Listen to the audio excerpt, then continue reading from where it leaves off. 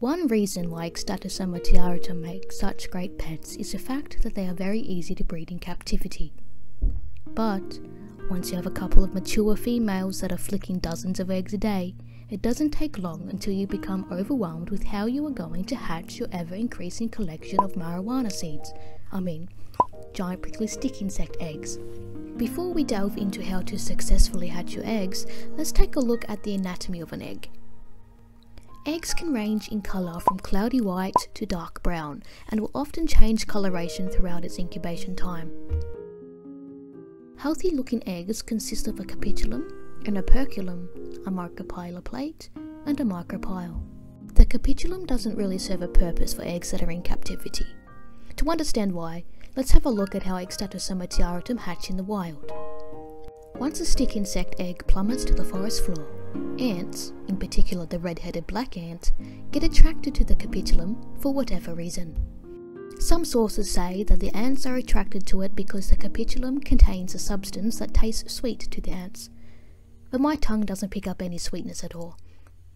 Yes, I've eaten a capitulum for science. Moving on. The ants get attracted to the capitulum and realize that this particular bit of the egg is a food source. So, they carry the whole egg back into their food chamber. Once the capitulum is eaten off, the ants realize there aren't any more tasty bits on the egg. So, they then take the stick insect egg into their rubbish chamber. Here, the egg will remain for up to three years until it hatches into a red-headed ant mimic. But in captivity, thankfully we don't have to rely on ant chambers to incubate the eggs, and thankfully it doesn't take up to 3 years for captive eggs to hatch. Asexual eggs take between 6 to 12 months to hatch, whereas sexual eggs take between 4 to 6 months. Nonetheless, the capitulum does not serve a purpose in captivity and eventually falls off the egg after a couple of weeks. The operculum, on the other hand, plays a very important role in both wild and captive populations. It acts like a door in which the nymph will push open and crawl out from in a very fast and rather sinister looking way.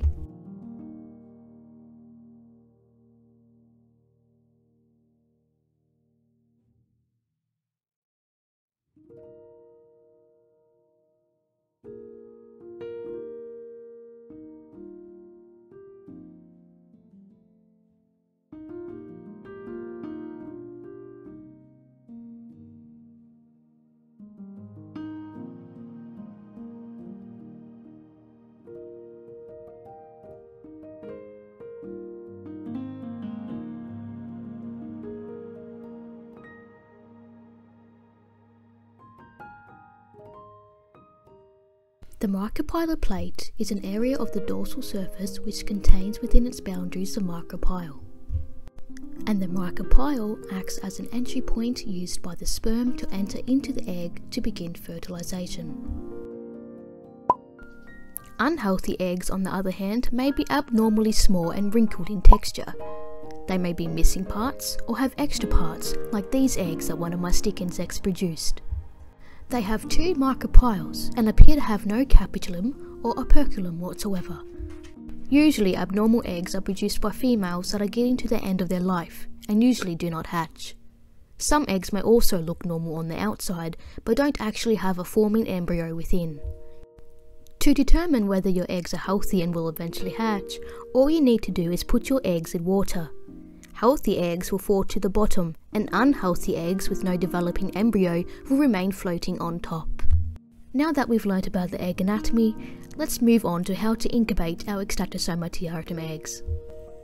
There are two easy ways to incubate your eggs, the first being the most simplest method, and the second being the most successful method. For the first method, you'll need a ventilated plastic container, a moist paper towel on the bottom, and of course, your eggs. Mix the eggs with water every day and change the paper towel whenever it gets mouldy. I suggest moving the eggs around once every day to lower the chance of mould growing. Although this method is the easiest and cheapest, it's the least successful because mould outbreaks are very common and it's harder to keep a constant humid environment.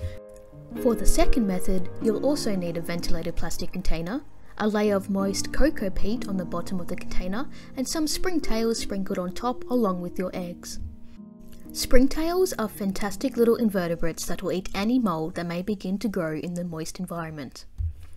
Although this method requires a bit more money to start, it is the most successful incubation method because there's less risk of a mould outbreak and the humidity is more controlled.